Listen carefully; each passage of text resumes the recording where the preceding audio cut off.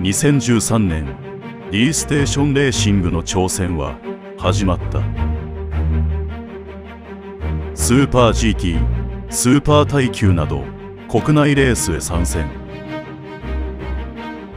アジアンルマンシリーズなど海外レースにも活動の幅を広げていく。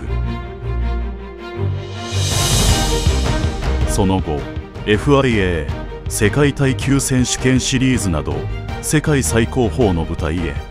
挑戦。夢にまで見た。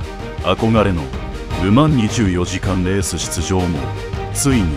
果たした。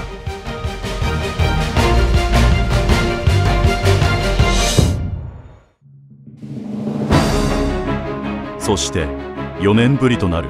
スーパー GT へ復帰する。E ステーションレーシング。アストン・マーチン GT3 を狩る。2人のドライバー。チームのマネージングディレクターでありリードドライバー藤井智信。ウェックにおいて3度のシリーズチャンピオンに輝き数々の実績を誇る。